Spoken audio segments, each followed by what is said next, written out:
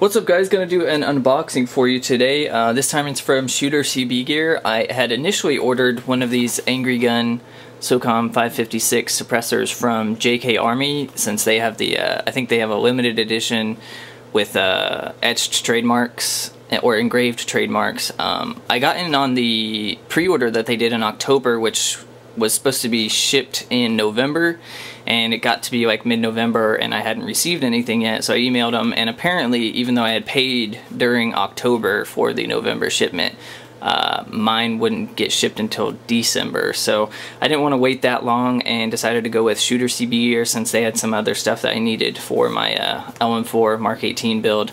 So uh, opening this up Got the uh, flat dark earth one. I thought that was a really cool suppressor design and kind of corresponds with like the latest um, that SOCOM's using.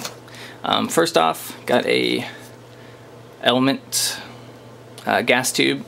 Um, I wouldn't have been able to do this with my uh, Mad Bull rail since the Mad Bull uh, Mark 18 and their Block 2 rails don't have a port for the gas tube um, since apparently people were trying to use those rails on real steel, which I'm not sure why you would do that um, in the first place. So with this VOC rail, it actually does have a cutout for a gas tube, so I picked up an Element gas tube there. And then I think this is my uh, gas block. Got like a low profile. I think this is the AAC style uh, gas block. But I just kind of picked something out um, just to kind of add a little bit more authenticity to my uh, LM4 there. So kind of a low profile gas block there. Um, it's not really a big deal, um, but with kind of like Block 2 builds and Mark 18 builds, with the Mad Bull rails anyways, you don't really have the option unless you drill your own hole for a gas tube and a gas block in there. So decided to pick that up there and main thing, kind of a foam wrap here. Got the uh, suppressor inside. Um, you get a little metal washer with an O-ring to kind of adjust the flash hider to where it needs to be on your outer barrel. It also has a, a uh, grub screw on the flash hider, I believe. Show that here in a second. And then a little instruction sheet in there for the suppressor itself. Kind of a cool attachment design, reminds me of the uh, AAC, uh, kind of like the M4 2000 suppressors. Um, going over the suppressor, it's kind of like a dull, uh, flat dark earth finish or tan up front, and then kind of an anodized metal that uh, uh, reminds me of the colors kind of on the PEQ 15 and then the metallic color of the uh, Insight replica WMX 200 there. Kind of a cool uh, flow of design and color there. And let's see, I don't think this suppressor's foamed, but um, I think last time I saw pictures of it, it does have like a spring in there, which I'm assuming helps with the ratchet lock system. But, um, and it doesn't look like you could add foam further down in there, kind of just looks like an extension there. So you might be able to add some foam in there around the spring if you even care uh, that much to do it.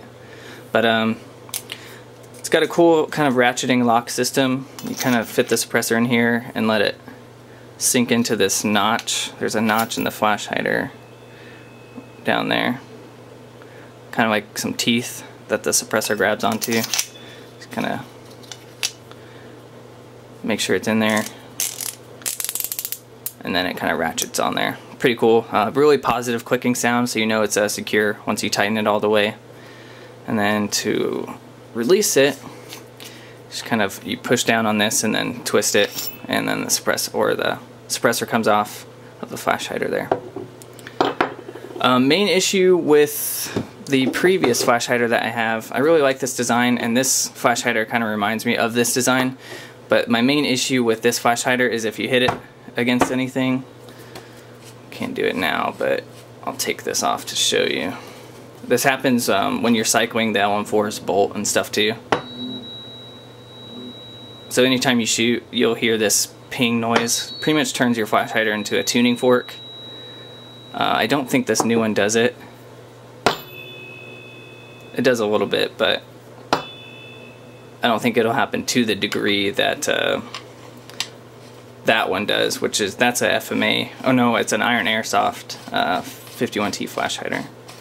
But uh, I think the Magpul PTS one that I had did it too. It's kind of annoying, especially with an LM4. Usually not an issue on like an AEG, but with all the moving parts of an LM4, uh, this thing, every time I test fired, it would make that pinging noise, which was kind of annoying.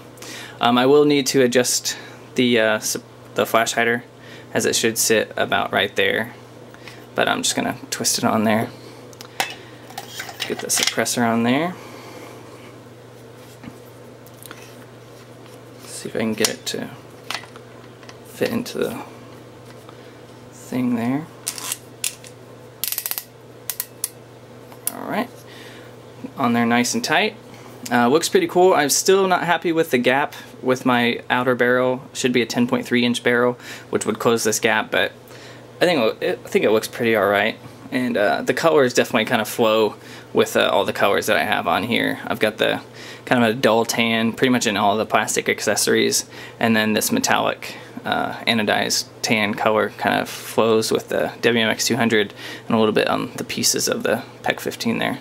So yeah, that uh, pretty much covers it. I'm going to get that gas tube and stuff installed and uh, Mark 18 will be complete. Thanks for watching. Please rate, comment, and subscribe.